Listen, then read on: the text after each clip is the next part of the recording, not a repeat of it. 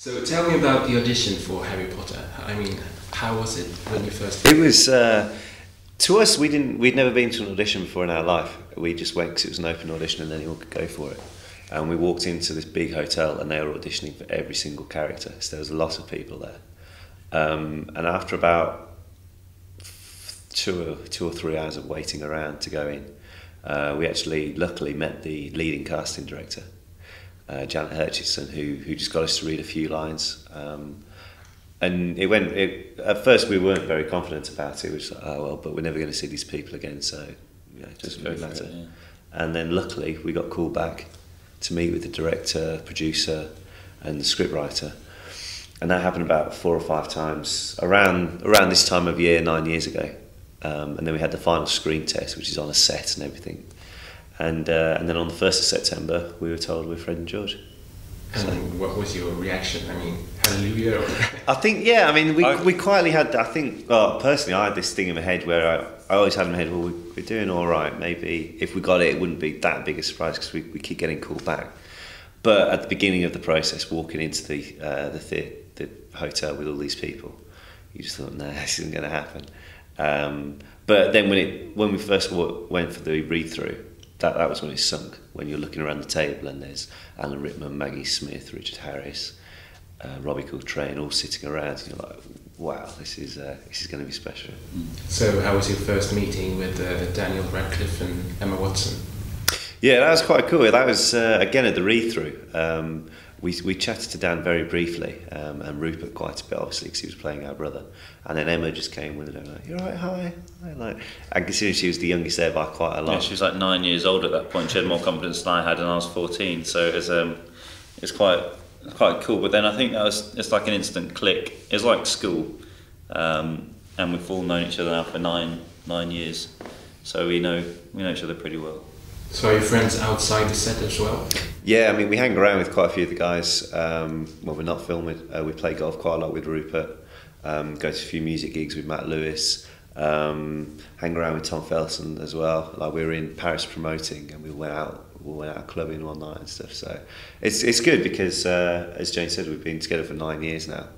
So we've we developed a really strong bond. I mean, we've been together more than anyone is at school together. Uh, and you think how how bond how well you bond with all your school friends. It's uh, it's certainly certainly a unique thing. How much for this? Five galleons. How much for me? Five galleons. I'm your brother. Ten galleons. You had no experience, acting experience before this. Um, how how has Harry Potter changed your life? Um, I, am not going to say beyond recognition because I like to think we're the same grounded people that we were before. But at the same time, I don't think we'd be sitting in the middle of Stockholm promoting a, anything like this. Major we did. Film, yeah. So um, it's it's changed our lives in the way that we're. Personally, I'm a lot more confident now in how I. I mean, if this was me, I know I'd be younger anyway, but I'd be very shy, and I always I used to keep my head down, not be, and I, not because I was arrogant or anything, but just because I was very shy, and um, this experience kind of made me a lot more out there, shall we say. Um, and then also it's just like just a way to appreciate the world because we've been fortunate to travel all over promoting them as well. So um, we're very fortunate to see uh, uh, see the world and see how much something means to so many people. How rich are you now? uh, not enough. but I mean, we've we've done all right from it. Um, but the same thing is well, it's not all about you know, material stuff. Like the memories we've got are absolutely amazing. Like we went uh, last week, we were in Milan and we went as guests of AC Milan around the ground. And stuff like as big sports fans, stuff like that is money can't buy. And it's uh, and also the friends we make along the way, and coming out on, on the premieres and seeing all the guys who waiting to see us and their enjoyment, their excitement. Um, yeah, there were guys stuff, at, stuff like that is, is really special. There were guys at Leicester Square on Tuesday who had camped out since midday Monday, midday Monday, and they camped overnight to get a good spot for the, the premiere. And you can't really put a price on how much this obviously means to people. So it was, um, you know, and they got absolutely drenched as well because it threw it down with rain.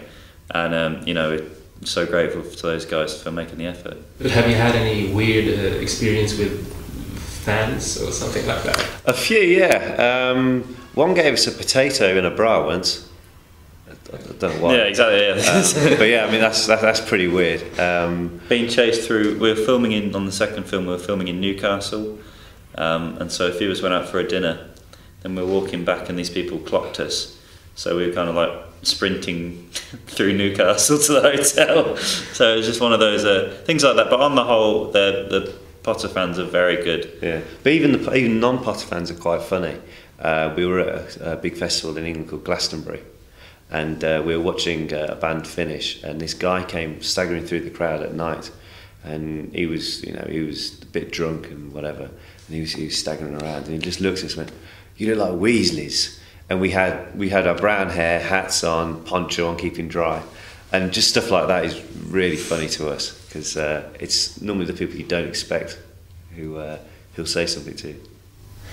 Um, it'll soon be over. Uh, sorry to say, but um, do you want to continue acting after this? Yeah, I'd, I'd like to. I mean, it's been we've kind of uh, gone into it for the past nine years now, so it's all working wise. We know, um, and I like to think we've learned quite a lot along the way from the best in the business, and things you can take from different people and advice as well.